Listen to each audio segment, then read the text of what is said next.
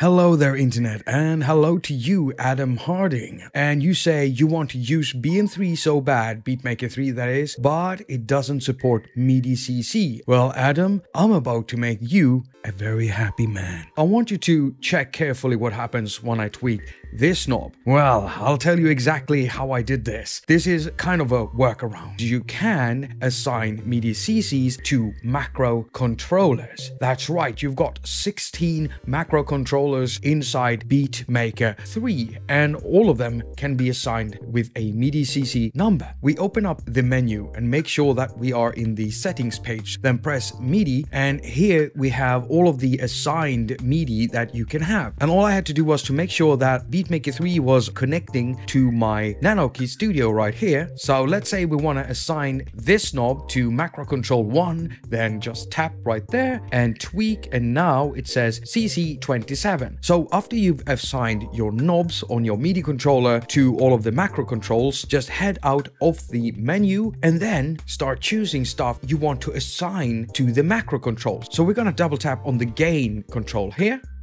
Tap that and we get a list of all available macro controls. Now, just tap a macro control, in our case, number two, now we should be able to control the gain knob through the macro control with MIDI CC. So when I tweak this now, and look at that, since these are macro controls, we can now assign more parameters. So double tap on that, go to macro controls and send that to macro 2. And now we are controlling the gain knob and the cutoff at the same time. As usual, I wish you a very productive week. Now go finger all of your stuff and have a lot of fun doing it. And Adam, I know you're gonna have fun. Yeah.